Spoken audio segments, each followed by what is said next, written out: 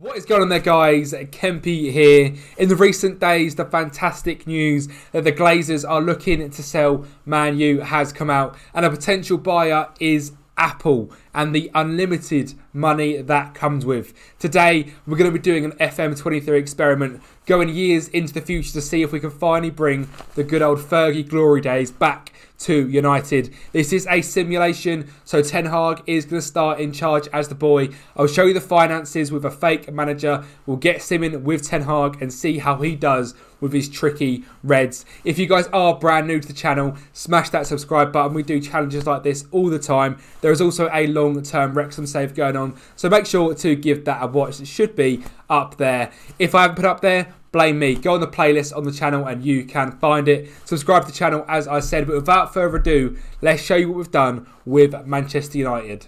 Apple have taken over Manchester United and we have given United the best facilities in the land. 20 for everything. We've even renamed them I Manchester United as a little bit of banter. We have kept Old Trafford the same, but money wise, we have got a hell of a lot. I've cleared all of the debt from the club, so as any Man U fan knows, the club can literally just run itself without any debt. So I've cleared that debt. Mr. Apple has himself. We've given 632 million in the bank account. The transfer budget, I believe I set was to 250, but I have banned the first window. There is no Ronaldo in the squad, so the squad is up to date as of today. Uh, this is the Friday the England game is on, um, but income wise, we have also given us a massive. Um, I don't know if it's going to show here, but there's a shirt sponsor of 999 million over the next 10 years. So the money shouldn't stop here. Money should flow in very easily for United as it should in real life. As I said, Ten Hag is going to get to stay in charge. He hasn't got Ronaldo. He's not been much use anyway, so it'll be interesting to see how this first Premier League season go. Today we're going to go forward one year, two years, five years and 10 years.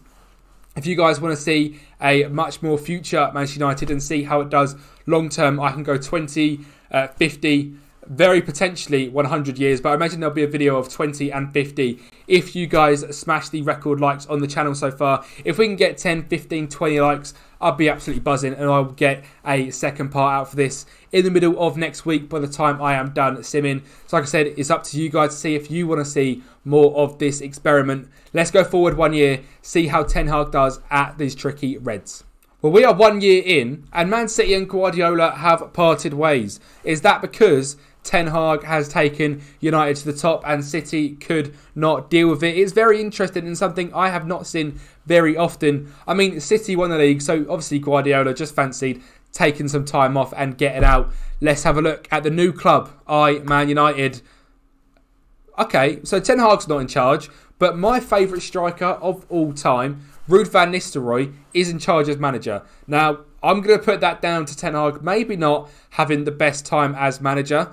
Um, he come in, Ten Hag was sacked after just 159 days, the 22nd of October. So this Premier League season obviously did not go great. Steve McClaren come in as a caretaker, and now the absolute legend that is Ruud van Nistelrooy has come in, and I can see he won the Europa League as well. So it's Europa League glory for United this season. That is all well and good. Uh, finances wise, things look absolutely fine. We've got 312 million in the bank. So either I've done something wrong or we've spent some unbelievable money. We have spent some unbelievable money 431 million to be exact, uh, and 260 million on Rafael Leao. 260 million on one player. What on earth is going on? Right, let's go through these then. So Facundo Korupski has signed from uh, the Arsenal Argentinian team. Uh, Pianev has come in from Krylia Sovetov in Russia in the Premier League over there. Uh, Sebastian Coates has come in for 20 million. Mehdi Taremi has come in. Uh, the Iranians beaten Wales today. A very interesting result. A signing we all want Man U to make in real life. Diogo Costa has come in, the fantastic Portuguese goalkeeper. Evan Evanilson has come in as a striker, 14 games, 6 goals for him. And Rafael Leao.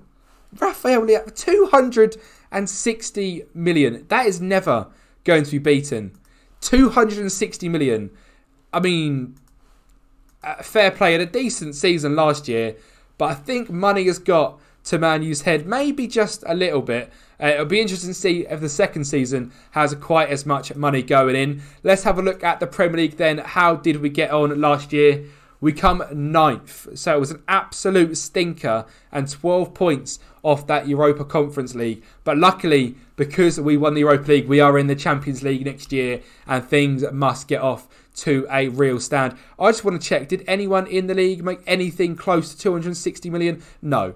200 million more than the next highest is interesting. Uh, an interesting strategy for Man U, to say the least. Uh, if we can we look at the profile for last year, let me see if I can find the top goal scorers, etc., for the 22 season. So the top goal scorer last season was Raheem Sterling at Chelsea with 24 goals in 35 games. Salah in second and Haaland with a very modest uh, 19 in 32. Uh, young player, players young player was Haaland. Uh, team of the year, did we get anyone in? Eh, we didn't come in ninth. It was Ederson, Walker, Diaz, Silva, Cancelo, Foden, De Bruyne, Silva, Salah, Haaland, and Raheem Sterling up front. Uh, manager of the year, Unai Emery at Aston Villa, fair enough to Villa. And player of the year was Mohamed Salah, Golden Glove falling to Aaron Ramsdale in the Premier League. But we are here for Manchester United. And how did the season go then last year? Wow, that is a lot of red. Uh, one win against Arsenal and then not a win in the league until the 1st of October. Um, so that is not fantastic. Uh, and you can see why Mr. Ten Hag has, in fact, been sacked around the 22nd and 2 0 loss to Everton was his last. Since then, though, a hell of a turnaround of form. Steve McClaren and Ruud van Nistelrooy doing absolute bits. It looks like we got knocked out in the EFL Cup to Chelsea semi-final, so close to a final there. Uh, FA Cup, I can see we actually got to the final of that as well. Sadly, a 2 1 loss to Man City, and that man, Erling Haaland, getting the goals in that one. But a 1 0 win in the Europa League final. A goal from Jadon Sancho himself putting United into the Champions League. Fantastic result there for the boys. How did our boys get on last season, top goal scorers wise? I imagine it was a little bit difficult. How did Martial get on last year? Let's have a little look. Uh, six goals, not fantastic for Tony. Uh, obviously, Rafael has just signed. Uh, Jadon Sancho, nine goals for Jadon is good to see. Uh, one thing I'm interested in seeing as well is where did Cristiano Ronaldo end up? Did he end up at Real Madrid? He did not. It was Juventus, and it looks like he had a stinky old time as well. A 6.7 for Ronnie, eight goals and one, uh, eight games and one goal for him. So not a great move there for him. He retired from international football as well on the day of the World Cup final. Now in real life, he said if they won the World Cup, he would retire. They didn't win the World Cup this time around, though, sadly for the French. Can we see the different stages? I do not know how to do that. Yes, I do indeed. The final was France Croatia. Interesting final there. Third place Spain versus Holland. Uh, so that's a good thing. Where did England come and where did Portugal come as well? I haven't seen Portugal just yet. It looks to me like Portugal maybe didn't even get out of the group. England lost to Holland in the first round, meaning we must have come second. We did to the USA, who won all nine points. Now, that game in real life kicks off very closely for me. Portugal come bottom of their group with just one point. So old Cristiano has had a stinky old time of things. Let's go forward another year and see how Ruud's tricky Reds have got on. Right then, Ruud van Nistelrooy, my absolute go of a striker. How have you got on at I Manchester United? Uh, you are still in charge, thank God. That is good to see. Let's have a little look at the Premier League. Man City won it again. I can't say I am too surprised. Oh, we come eighth. Oh no, so it's the Europa Conference League for us. That is not good at all. A very poor season for Ruud. I'm surprised he's still in the job. Uh, I'm going to take a wild guess and say he won something. Um, he didn't. He won the Super Cup, but other than that, I have no idea how Ruud is still in a job. You can see he's now captain Bruno Fernandes, vice captain Marcus Rashford. Transfers wise, was anything wild done?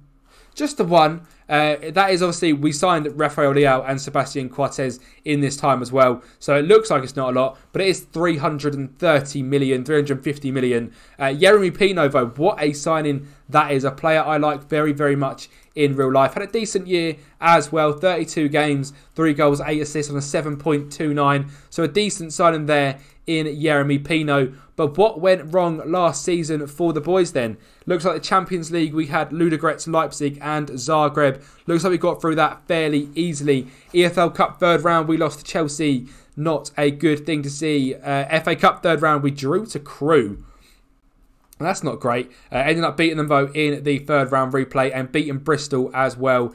Champions League, we had PSG and we knocked them out on penalties. It was that man Rafael Leao, a Scott Mac Tominay, you get it, Mac Tominay, uh, getting sent off in this one in the 55th minute, but the boys holding on strong and knocking out PSG. Also beat Man City in the FA Cup on penalties. Quarter final, Jadon Sancho Liverpool in the F Champions League and we lose to them. And we lose to Palace in the semis of the FA Cup.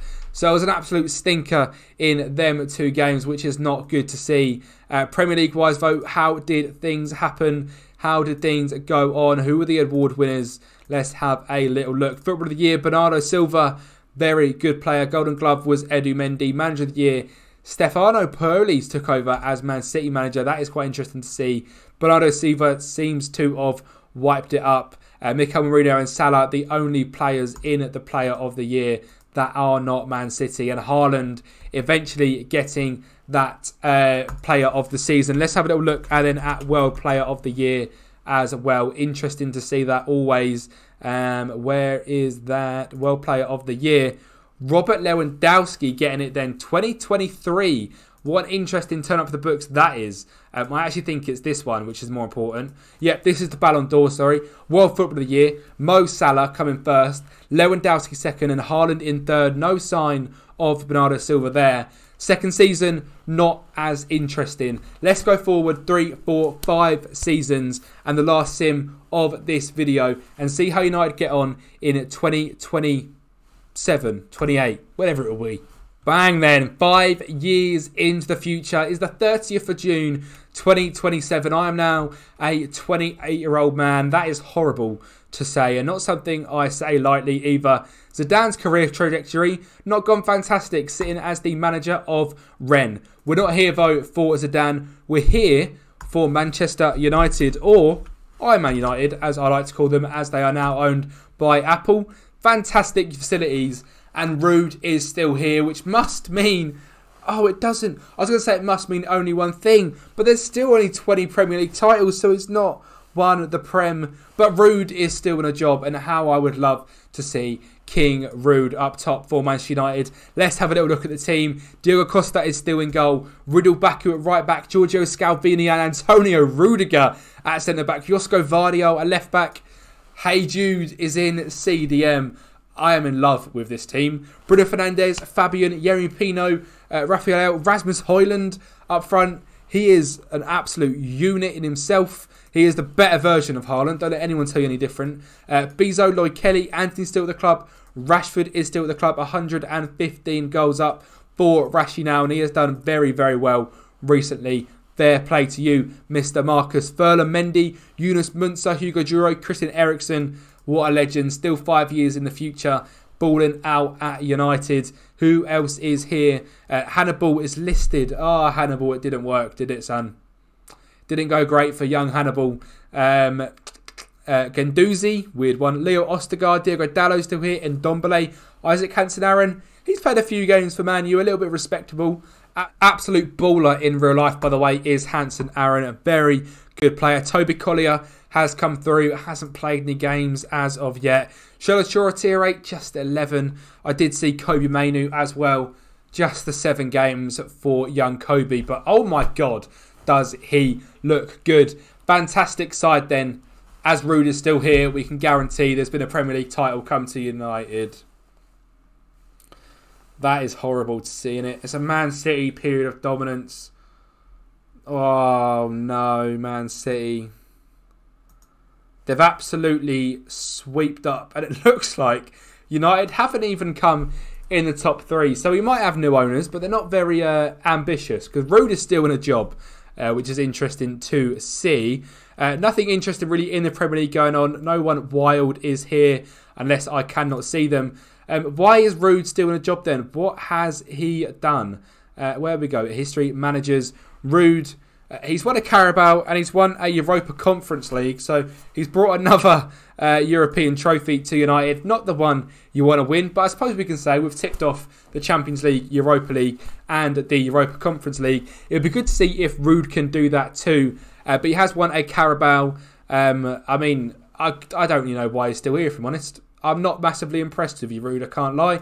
I love you in real life, but I mean, you come top four last season, so I'm happy with that. I'm very happy with that, you know, back in the Champions League. Year before that, seventh. Year before that, fifth. Year before that, eighth. And the first season, ninth. So, Ruud. fix up, son. This season is a big one for you, and we need you to go absolutely wild. Let's see if we are spending outrageous money still. Uh, 267 million last year, 293 million the year before that, 337 million the year before that. The outlier of 69 million, but I suppose it's also 350 million, isn't it? And a January spending around, uh, what is that, 50, uh, 90, 150 million as well. It's pretty outrageous.